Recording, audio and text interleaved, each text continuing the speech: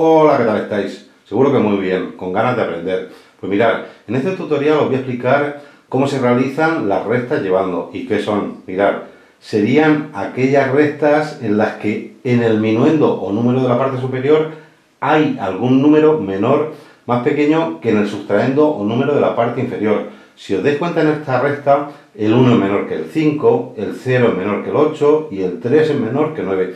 Imaginaros que la recta es como una escalera y tenemos que subir una serie de escalones o peldaños, desde el sustraendo hasta el minuendo. Mirad, yo de 5 no puedo subir a 1, al escalón número 1, pero sí puedo subir al escalón número 11. Al 1 le coloco otro 1 delante, se convierte en 11. Pero este 1 lo bajo en forma de puntito y se lo presto a la decena. Ahora sí, de 5 puedo subir a 11. Quitamos los cinco primeros escalones, ya que restar es quitar o dar. Vamos a quitarlos. Estamos en el escalón número 5. Esos cinco escalones, repito, ya los tenemos andados. Empezamos a contar a partir del siguiente, del posterior, del número que va detrás del 5. 6, 7, 8, 9, 10 y 11. Subimos 6 escalones o peldaños. Ahora decimos 2 más el puntito que vale 1, 3. De 3 sí puedo subir hasta 6. El 3 no se cuenta, lo quitamos, ya lo tenemos andado, esos escalones. 4, 5 y 6. Subimos 3 escalones o peldaños.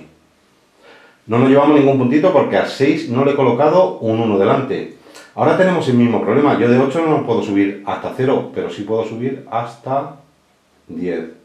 Pero este 1 lo bajamos en forma de puntito y se lo prestamos al 9, a la unidad de millar. Ahora digo, de 8 hasta 10. Quitamos los 8 primeros escalones, eso ya los tenemos andados. 9 y 10. Subimos dos escalones o peldaños. A continuación tenemos el mismo problema. Yo de 9 más 1, 10.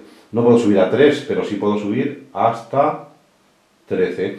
Pero este 1 lo bajamos en forma de puntito y se lo prestamos siempre ahora a la decena de millar. Siempre iba a decir al número de debajo, pero que está a la izquierda del que le hemos prestado el puntito.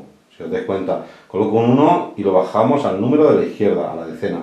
Coloco 1 y lo bajamos al número de la izquierda. Coloco otro 1 y lo bajamos al número de la izquierda. Si no coloco ningún 1, no nos bajamos ningún puntito. ¿eh? Ahora, 9 y 1, 10, hasta 13, el 10 no se cuenta. 11, 12 y 13. Subimos 3 escalones o peldaños. Ahora digo, 4 más el puntito que vale 1, 5, hasta 5, 0. Estamos ya en el escalón o peldaño número 5. No tenemos que subir ningún escalón o peldaño. El resultado es 3236. Pues bien, si el vídeo te ha ayudado, suscríbete al canal, dale a me gusta y compártelo. Gracias.